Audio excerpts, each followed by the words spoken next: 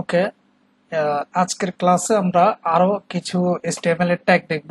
তো চলো, খুব ইন্টারেস্টিং কিছু জিনিস আমরা দেখে ফেলি। আমরা যা কিছু লিখব না কেন, সেটা হচ্ছে এই বডি ট্যাগের ভিতরে লিখব। এর বাইরে কিন্তু আমরা কোনো কিছু লিখব না। আর অনেক কিছু আছে, সেটা আমরা হেডের ভিতরে লিখব। তো আমরা যাই লিখি, সেটা হচ্ছে হেড ট্যাগ এবং বডি ট্যাগের ভিতরে থাকবে। তো সেটা আমরা আস্তে আস্তে বুঝে যাব, সমস্যা নাই। আমরা আপাতত হচ্ছে এখানে আমাদের কাজগুলো করতে থাকি। আরও কিছু ট্যাগ দেখি আমরা। যেমন ধরো, আমি একটা পি ট্যাগ নিলাম। তাহলে পি লিখে আমি হচ্ছে ট্যাব দিলাম।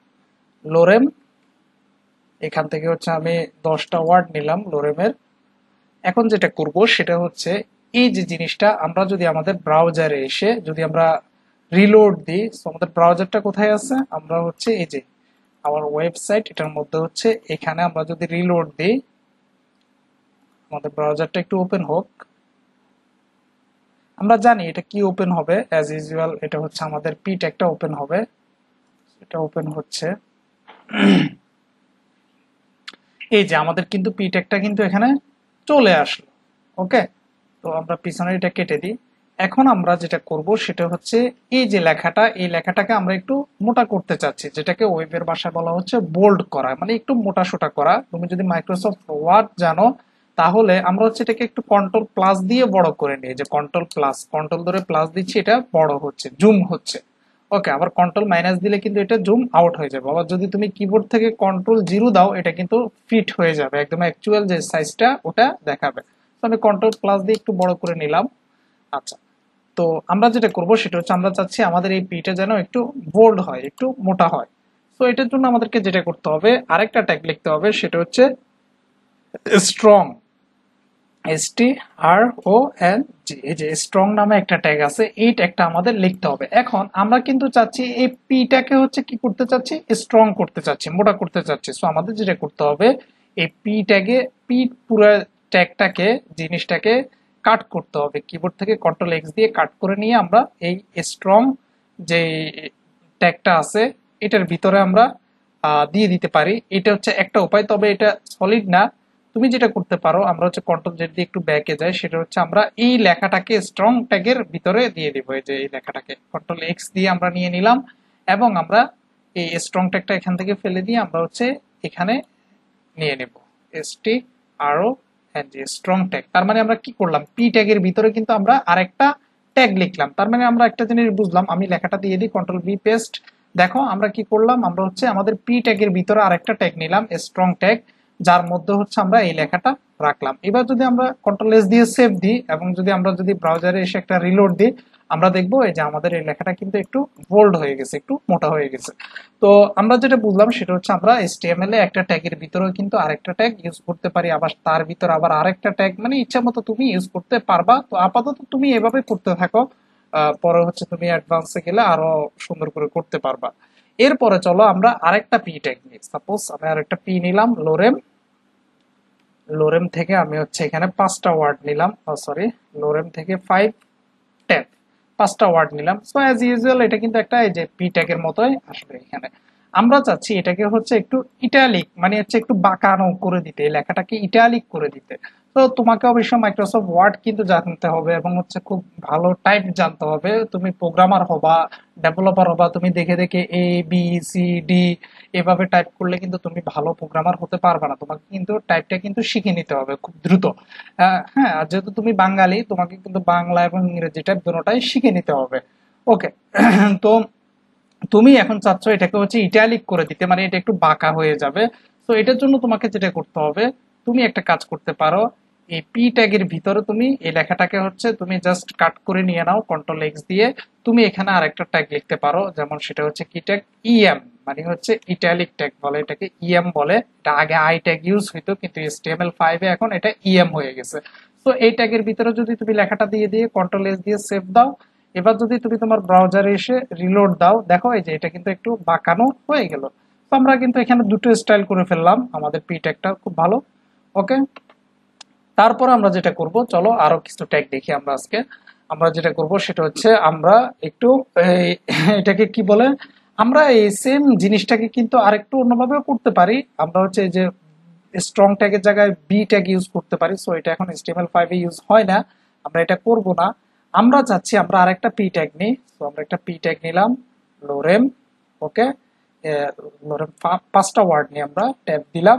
তো আমরা চাচ্ছি আমাদের এই লেখাটার নিচে একটা আন্ডারলাইন হবে। মানে একটা লাইন হবে নিচে কন্ট্রোল এক্স দিয়ে আমরা এটা কেটে নিলাম এবং একটা হচ্ছে ইউ ট্যাগ নিলাম আমরা, ঠিক আছে? এই ইউ ট্যাগের ভিতরে আমরা কন্ট্রোল বি দিয়ে এটা পেস্ট করে দিলাম। তুমি ইউ লেখে ট্যাব দিলেই কিন্তু ট্যাগগুলা চলে আসবে। ওকে তো তুমি যদি এবার রিলোড দাও দেখো, এই যে লেখাটার নিচে কিন্তু একটা আন্ডারলাইন চলে আসছে। আবার তুমি ওভারলাইনও আনতে পারবা, সেটা আমরা সিএসএস দিয়ে পরে দেখব। এখন ওটা নিয়ে এত টেনশন করার কিছু নাই। আচ্ছা তারপরে চলো আমরা আরও ট্যাগ দেখি। সাপোজ মনে করো তুমি কোনো একটা লেখাকে কেটে দিতে চাচ্ছ। তুমি একটা পি ট্যাগ নিলা এরকম। সাপোজ মনে করো পি ট্যাগ নিলা, এখানে লিখলা হচ্ছে ডিলেট এই এল টি ডিলেট এই লেখাটা তুমি লিখলা। এখন এটা কিন্তু পি ট্যাগের মধ্যে কিন্তু তুমি ডিলেট দিলে কিন্তু এটা কিন্তু এরকম স্বাভাবিক পি ট্যাগ আসবে। তুমি চাচ্ছ এটা মাঝখান দিয়ে কেটে দিতে লেখাটা। তো তুমি যেটা করতে পারো, এটাকে তুমি ডিল নামক একটা ট্যাগ আছে, এই ট্যাগের মধ্যে রাখতে পারো। সাপোজ ধরো কন্ট্রোল এক্স তুমি ডিইএল ডিল নামক ট্যাগ নিলা, নিয়ে এটাকে হচ্ছে রেখে দিলা। এবার যদি তুমি যদি এটাকে যদি তুমি রিলোড দাও, তাহলে দেখবে এটা কিন্তু কেটে গেছে। সো এগুলো কিন্তু তোমার অনেক ইউজ করা লাগবে। সাপোজ ধরো, তুমি যদি এই জিনিসটা কোথায় ইউজ করা লাগতে পারে? তুমি মনে করো একটা পি ট্যাগ নিলা, এর মধ্যে তুমি লিখলা হচ্ছে চারশো টাকা তারপরে লিখলা হচ্ছে সাপোজ মনে করো পাঁচশো টাকা। ওকে, আমি একটু স্পেস দিয়ে দিই। পাঁচশো টাকা। এখন তুমি চাচ্ছ হচ্ছে চারশো টাকা তুমি হচ্ছে কেটে দিবা, পাঁচশোটা হচ্ছে থাকবে। বা পাঁচশো টাকা তুমি কেটে দিবা। তো তুমি পাঁচশো টাকা এটাকে হচ্ছে একটা কাট করে নাও কন্ট্রোল এক্স দিয়ে, এখানে একটা ডিল ট্যাগ নাও। যতটুকুকে তুমি কেটে দিতে চাচ্ছ ওটাকে ডিল ট্যাগের ভিতরে তুমি দিয়ে দাও। দিয়ে বা যদি তুমি রিলোড দাও, তুমি দেখবা এই যে চারশো টাকা এটা পাঁচশো টাকা ছিল, কেটে হচ্ছে চারশো টাকা হয়ে গেছে। আমরা যদি এটাকে আগে দিতাম, তাহলে আগে আসতো। তো তোমার হচ্ছে জিনিসগুলো জাস্ট প্র্যাকটিস করতে হবে, আর কোনো কিছু না। তোমাকে কিন্তু ভিডিও দেখলে কিন্তু কোনো লাভ হবে না। তুমি কিছুই বুঝবা না, যতক্ষণ পর্যন্ত তুমি কিন্তু হাতে কলমে প্র্যাকটিস না করো। ওকে আরেকটা ট্যাগ দেখি আমরা। সাপোজ মনে করো আমরা একটা পি ট্যাগ নিই। এটার জন্য হচ্ছে আমরা পনেরোটা ওয়ার্ড নিই লোরেমের লোরেম পনেরোটা ওয়ার্ড নিলাম আমরা।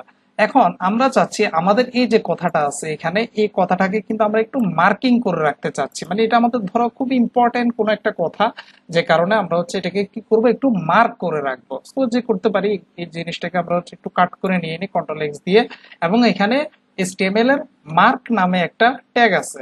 তো তুমি যদি এই যেভাবে লিখে সরি এখানে হচ্ছে বুটস্টপের একটা জিনিস আমার প্লাগ আছে, যে কারণে এটা চলে আসছে। তো তুমি হচ্ছে M M A R K mark okay এটা লেখো, লিখে হচ্ছে তুমি ট্যাপ দাও। আচ্ছা আসতেছে না। আমরা হচ্ছে ম্যানুয়ালি লিখে ফেলি একটা right angle M A R K mark একটা হচ্ছে আমাদের হবে এখানে left angle right angle left angle এটা কিন্তু এই যে চলে আসলো কিন্তু, লেখার সাথে সাথে সাজেস্ট করে চলে আসলো মার্ক ট্যাগ তো আমরা এই কথাটাকে মার্ক ট্যাগের ভিতরে ঢুকাই দিলাম পেস্ট করে দিলাম। এবার যদি আমরা যদি আমাদের ব্রাউজারে এসে যদি রিলোড দিই, দেখো এই কথাটা কিন্তু ডিফল্ট ভাবে একটা এই যে কালারে কিন্তু এটা কিন্তু মার্ক হয়ে গেছে। এই কালারটাও তুমি চেঞ্জ করতে পারবা, তোমার টেনশন করার কিছু নাই। তুমি যখন সিএসএস শিখবা, তখন তুমি এরকম সুন্দর সুন্দর অনেক কিছু তুমি হচ্ছে পারবা, এগুলা চেঞ্জ করতে পারবা। এটা তোমার জন্য কোনো ব্যাপারে না। আচ্ছা তো তাহলে তুমি কি শিখলা? তুমি হচ্ছে দেখো, মোটামুটি এই যে অনেকগুলা জিনিস তুমি শিখে ফেললা এসটিএমএল এর। যে জিনিসগুলো, এগুলো কিন্তু তোমাকে জানতে হবে, ঠিক আছে?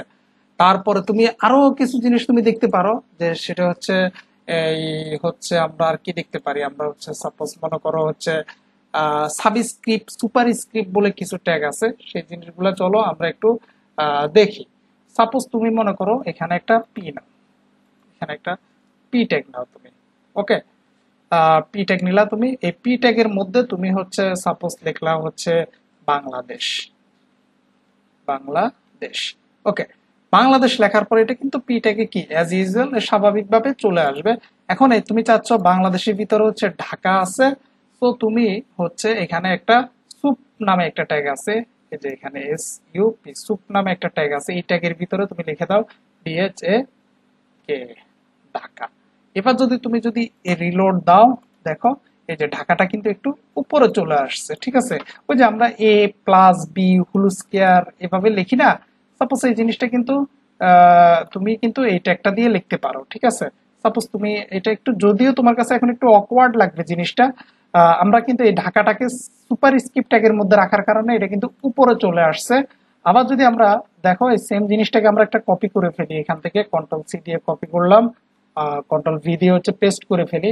এখানে আমরা সাব ট্যাগের পরিবর্তে সুপ ট্যাগের পরিবর্তে সাব ট্যাগ লিখে ফেলি সাব এখানেও হবে আমার সাব সাব লিখে ফেললাম। এবার দেখো এটা কিন্তু নিচে আসবে পরেরটাতে। দেখো যে টাকাটা কিন্তু একটু নিচে চলে আসছে।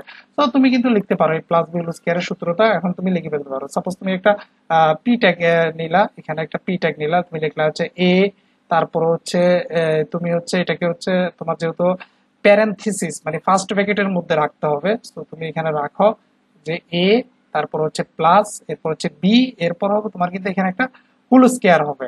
তো তুমি কিন্তু এটাকে সুপ ট্যাগের ভিতরে ঢুকাই দিতে পারো। সাপোজ তুমি এটাকে সুপ ট্যাগের ভিতরে ঢুকাই দিলা সুপ ট্যাগটা আসছে না কেন, আমরা একটা স্পেস দিয়ে নিই এসইউপি সুপ এই যে সুপ ট্যাগের মধ্যে তুমি কিন্তু একটা তোমার, এখানে যেটা হচ্ছে ফুল স্কেয়ারটা আমার হচ্ছে কিবোর্ডে এটা কোথায় আছে একটু দেখি।